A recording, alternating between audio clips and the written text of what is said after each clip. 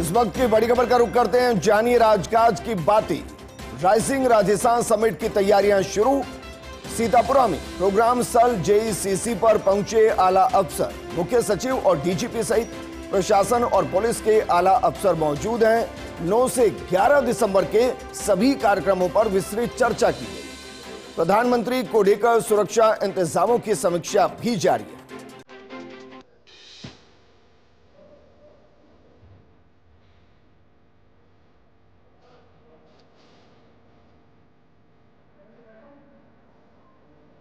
राजकाज की बातें, दरअसल मुख्य सचिव और डीजीपी सहित प्रशासन और पुलिस के आला अफसर मौजूद हैं और 9 से 11 दिसंबर के सभी कार्यक्रमों पर विस्तृत चर्चा की जा रही है।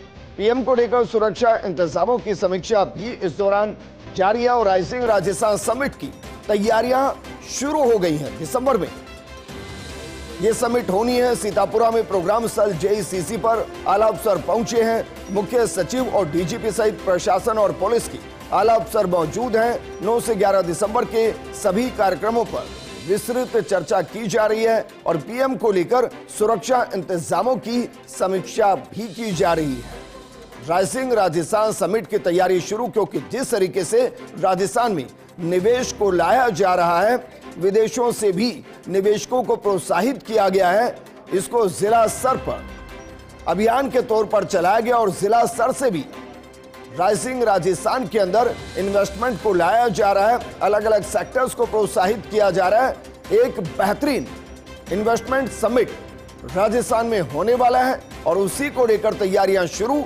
सीतापुरा में प्रोग्राम स्थल जेईसीसी पर पहुँचे हैं आला अफसर और मुख्य सचिव और डीजीपी सहित प्रशासन और पुलिस के आला अफसर मौजूद हैं। 9 से 11 दिसंबर के बीच कार्यक्रमों पर विस्तृत चर्चा की जा रही है।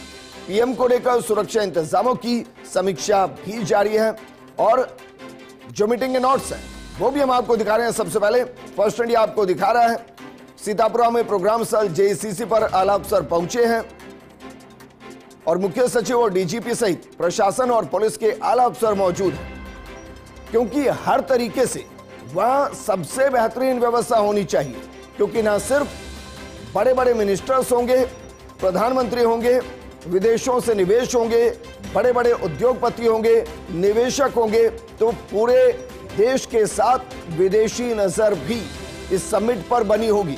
और इसीलिए न सिर्फ़ वहाँ सिक्योरिटी बेहतरीन होनी चाहिए, बल्कि तमाम व्यवस्थाएँ, और वो माइन्यूट व्यवस्थाएँ होती है। मसलन, किसकी सिटिंग पोजीशन क्या होगी, कौन किस रूट से आएगा, लाने के लिए किस मेहमान के लिए क्या व्यवस्था होगी प्रोटोकॉल में कौन कौन होगा, कौन उन्हें रिसीव करेगा, उनके ठहरने की व्यवस्था क्या होगी, ये तमाम वो बिंदु हैं जिन पर चर्चा की जा रही होगी। मुख्य सचिव और डीजीपी मौजूद और 9 से 11 दिसंबर के बीच जो कार्यक्रम है, उस पर विस्तृत चर्चा की गई है। प्रधानमंत्री की सुरक्षा की इंतजामों को लेकर भी समीक्षा की गई है।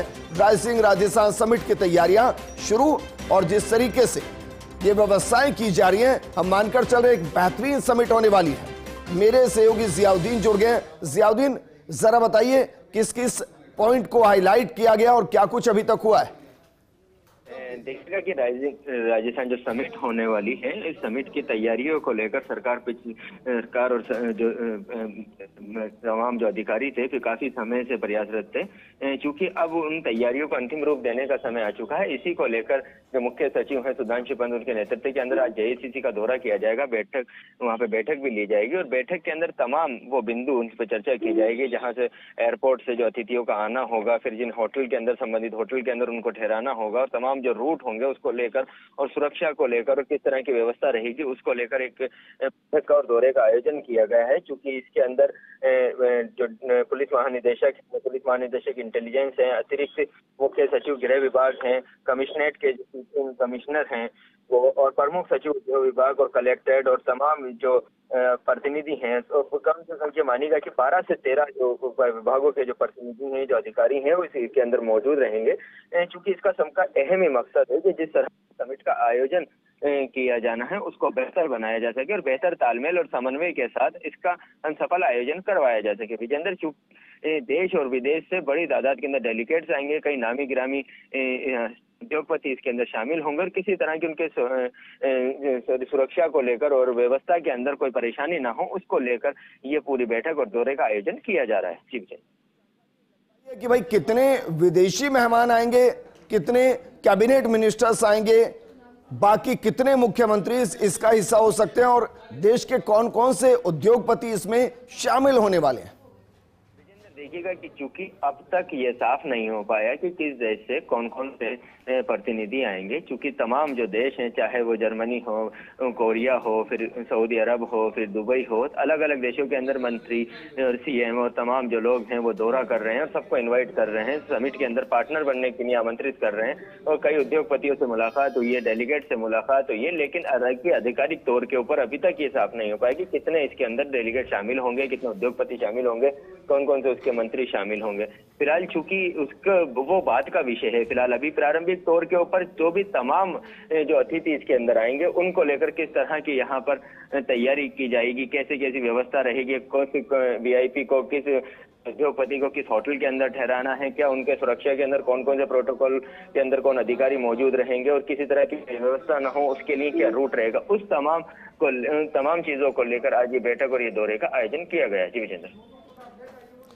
वहाँ कौन कौन से अधिकारी मौजूद हैं अभी?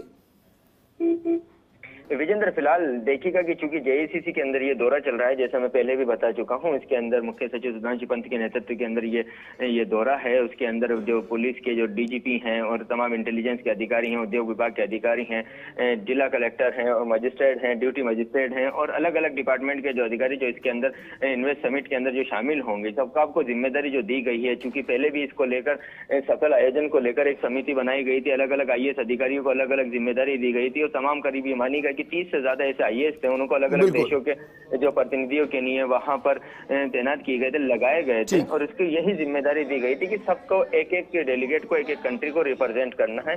तो तमाम क्योंकि हम दिखा रहे हैं कि भाई मीटिंग नोटिस क्या और उसमें बाकायदा अगर हम इसको समझें तो बैठक में जिन पर चर्चा की जा रही है उसको हम आपको समझा रहे हैं। जेसीसी में सल लेआउट और अन्य सुरक्षा व्यवस्था की आवश्यकता पर फोकस आठ से ग्यारह तारीख तक सभी आयोजन दिवसों पर यातायात और पार्किंग प्रबंधन।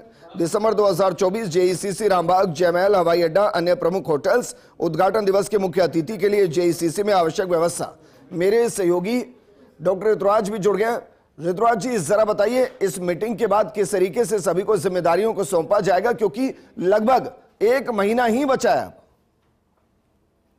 आज का जो दौरा है वो पूरी तरह से सुरक्षा व्यवस्था पर ज़्यादातर फोकस है और इसमें एंट्री गेट में कैसे व्यवस्था रहेगी, कैसे एंट्री होगी यदि पांडाल लगाए जाने हैं या कुछ शोकेस करना है विभागों को अपनी अपनी जो तैयारी है उसको लेकर तो वह क्या, कैसे शोकेस होगा एग्जीबिशन स्थल कहाँ होगा, कहाँ मेन कन्वेंशन होगा कि सत्र कैसे होंगे के बाद एक जो सत्र होंगे वो कैसे होंगे और उन सत्रों में राजस्थान का रिप्रेजेंटेशन कैसे होगा कि राजस्थान के संसाधन कितने दे पाएँगे जिससे कि निवेशक आकर्षित हों।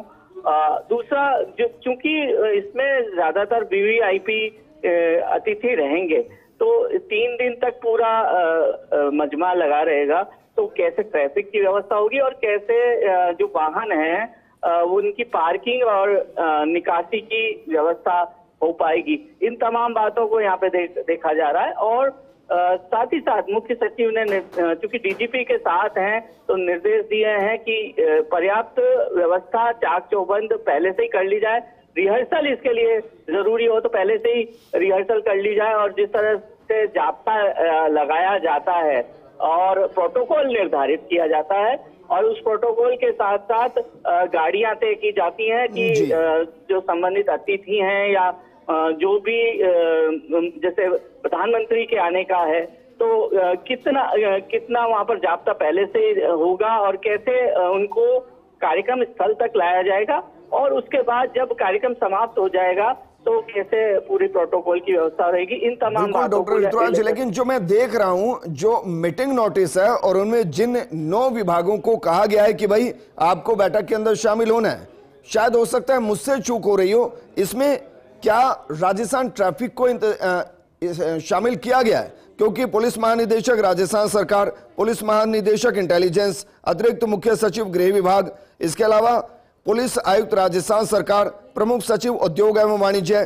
कलेक्टर और जिला मजिस्ट्रेट मैनेजिंग डायरेक्टर रिको सचिव डीओ आईटी आयुक्त डीआईपीआर क्या ट्रैफ़िक को भी इसमें शामिल किया गया है बिल्कुल जैसे डीजीपी यहाँ पर मौजूद हैं। तो डीजीपी का जो रोल होता है ना सिर्फ़ सुरक्षा व्यवस्था का होता है बल्कि कभी भी इवेंट हो